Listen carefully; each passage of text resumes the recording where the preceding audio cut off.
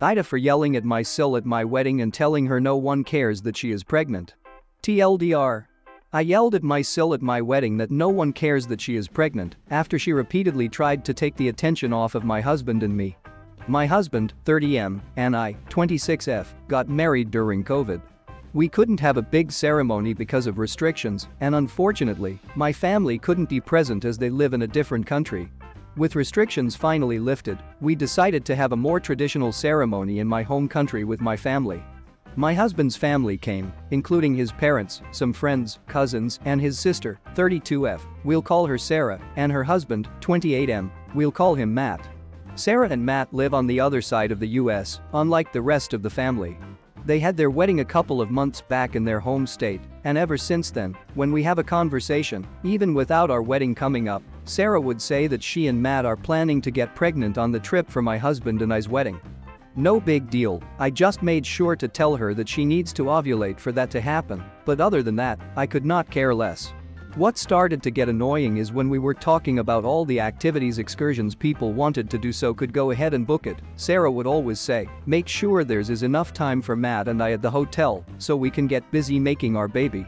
Again, kind of gross, a little annoying, but whatever, they are grown-ups, about a week before we all leave to go to my home country, Sarah and Matt arrive in our home state to spend time with family as they rarely see them. My husband and I, his parents, and my husband's brother and sister-in-law are sitting chatting when Sarah blurts out she is pregnant. We all get really excited, congratulate them and saying how happy we are.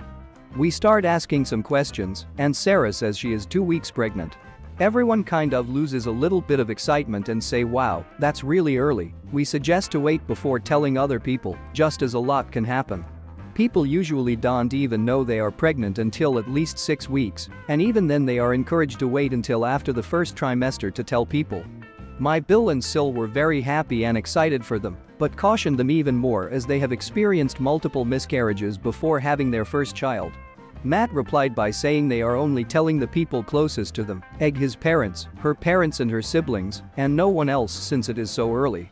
Well, the next day, Sarah had called her great uncle and his wife over for drinks and decided to tell them too, called her one aunt and uncle and told them, and by the end of the day, basically, the entire extended family knew, as well as some of her mom's friends which stopped by the house, and Sarah told. With each person, Sarah told Matt got more agitated as they had agreed to only tell a select few people. Matt finally gave up and asked her why she doesn't just post it on Facebook as it will be quicker, to which she replied, she wants to, but she think it will be frowned upon. My husband came to me and said it feels like she is trying to draw the attention away from us and our wedding, as she is known to do anything and everything to have the spotlight on her. I said to not worry about it, as when we are in my home country, she isn't going to know many people, so she won't say anything. He agreed but went to his parents and told them what he was feeling and asked if they could politely suggest that she keep it to herself when we left for the trip. They agreed that it was valid for him to feel that way, as they know she hates it if the focus is not on her. Anyway, we leave for the wedding, and I see my mom for the second time in five years. Obviously, it was a very emotional reunion, but we wiped off our tears quickly and sat down for a meal with my husband's family. After I introduced her to everyone, the waiter take our order and the first thing Sarah says to my mom is, your daughter probably already told you, but I won't be drinking this trip. My mom says that it's no problem, you don't have to drink to have fun, and that Sarah will still have fun, even if she chooses not to drink. Sarah interrupts my mom to tell her it's not by choice that she is not drinking, but that she is pregnant. Keep in mind this is 10 minutes after she met my mom. My mom says congratulations and keeps on with another conversation. Sarah interrupts my mom again and tells her how she is two weeks pregnant and just so excited. My mom who is in medicine then tells Sarah the same thing we did, that she should probably wait until she is in her second trimester to tell people, and Sarah completely ignores her. The same thing happens with my aunt, cousins, uncles, sister and grandparents, all of whom she had never met before. My husband yet again speaks to his parents and asks them to please tell her to keep it private because it feels as though she is purposefully trying to take the attention away from our wedding. They say they will talk to her. Matt actually comes up to us and apologizes, saying he agrees that it has gotten out of hand and that the number of people who know is way more than the number they agreed upon. Fast forward, we are sitting eating while we wait for one of our excursions. A family that I lived with for three when I first moved to my husband's country flew out for the wedding and met up with us for lunch. They have never met my Sil.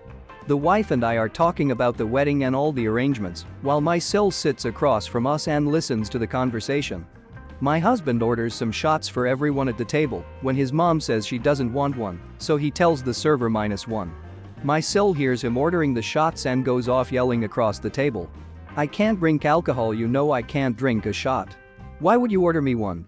Everyone kind of stops and looks at her for a second before my husband says it's not a problem as Matt said he wants to. Everyone then continues their conversation including the wife and I. My Sil interrupts me and continues to make a big fuss over how my husband ordered her alcohol when he knows she's not drinking. The wife then says it's okay because Matt said he'll drink it, so it's not going to waste. My Sil then says again how annoying it is that my husband ordered her a shot, and I say to not worry about it, because I'll just drink it if Matt doesn't want it.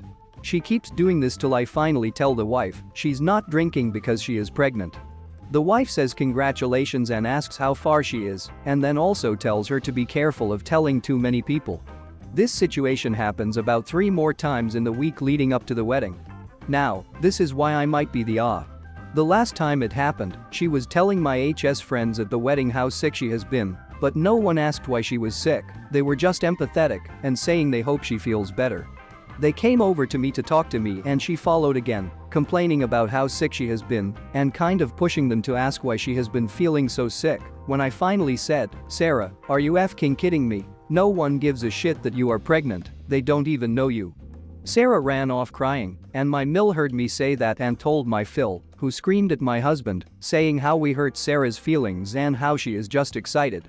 My husband doesn't think I did anything wrong, and my HS friends think I was fine too, because they know the backstory.